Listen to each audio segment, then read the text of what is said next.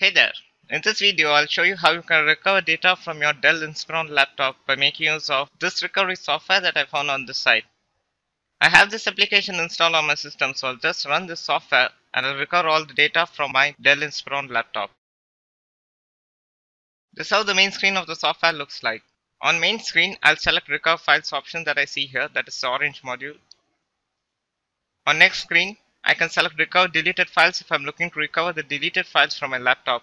As to recover the lost files, I can go with recover lost files option. However, for this video, I'll just recover the deleted files from my laptop, so I'll just select the recover deleted files option. On next screen, I need to select the drive from which I'm looking to recover data. I'll select E drive and proceed further by clicking on the next button.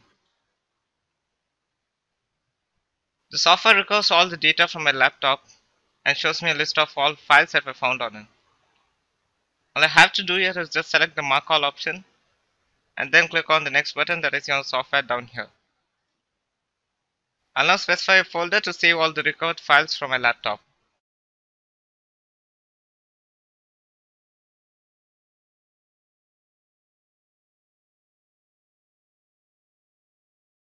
Upon clicking next, the software saves all the recovered files to the folder that was specified by me. And soon after the saving process is completed, I'll be taken directly to the target folder. So here's the folder where all the deleted files from my Dell Inspiron laptop are saved to.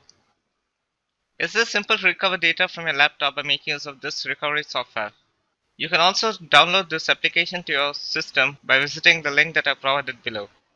Also in order to save the recovered files, you need to buy this software. Thanks for watching.